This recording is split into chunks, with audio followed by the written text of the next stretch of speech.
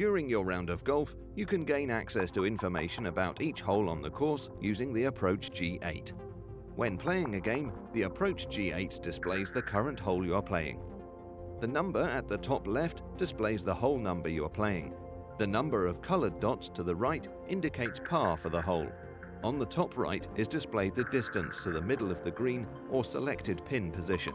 Press to enable big numbers mode and then tap again to return to the previous screen. The layup arcs indicate the distance to the pin. Four arcs appear for par 5 or higher, three arcs appear for par 4 and zero arcs appear for par 3.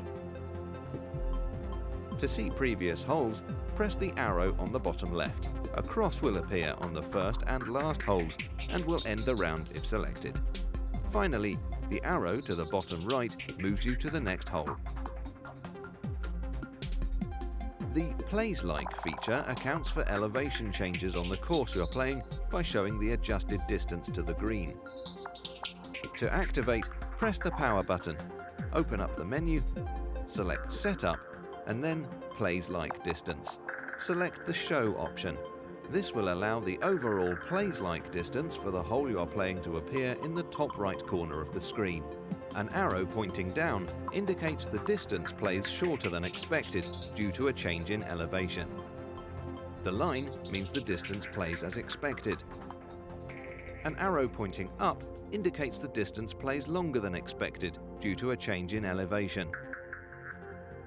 While previewing a course or playing a game, you can use touch targeting to measure the distance to any point on the map. Drag your finger to position the target circle. The number above the target circle displays the distance to the middle of the green or selected pin position from the target circle. The number below displays the distance from your current position to the target circle. If you are previewing the course, this number is the distance from the tee to the target circle.